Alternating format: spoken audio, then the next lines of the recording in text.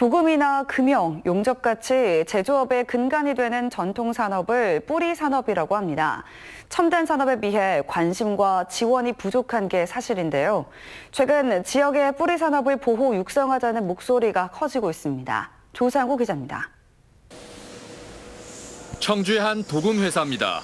반도체 칩을 생산하는 금형이나 장비에 금속 표면 처리를 하는 뛰어난 기술을 보유하고 있습니다. 회사 미래를 기술력에 두고 절반이 넘는 직원을 30대 이하 청년들로 고용했습니다. 젊은 친구들이 좀 긍정적으로 하려고 그러고 마인드를 갖고 있고 그리고 이 3D라고 그래서 3D라고 그래서 사람들이 안 오려고 하는데 그걸 보완하려고 음, 나름대로는 좀 많이 연구하고 고민하고 뿌리 산업은 주조와 금형, 열처리, 표면 처리, 소성 가공과 용접 등 제조업의 기반이 되는 산업을 말합니다. 충북에선 2017년 창립된 뿌리 기업협회에 100여 개 회사가 가입돼 있습니다.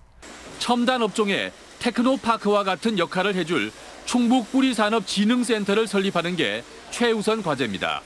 6대 기반 그 업종은 음, 그 지속적으로 발전이 돼야 우리나라가 제조 강국으로 갈 수 있다고 생각됩니다.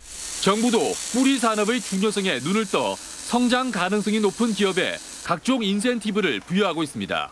중기부에서는 금년도에 그약 100억 원을 뿌리 기술 전문 기업 연구 개발비로 지원을 하고 뿌리 기업에 대한 그 스마트 통장 도입도 적극적으로 지원해 나갈 계획입니다.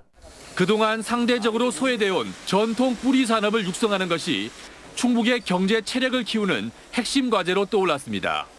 CJB 뉴스 조상우입니다.